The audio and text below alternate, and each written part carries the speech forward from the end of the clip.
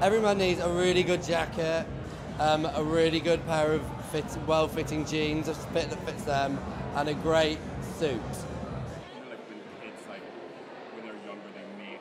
Uh, I think a pair of jeans, a white T-shirt, and a pair of Converse, maybe. I don't know, and a cashmere sweater, navy.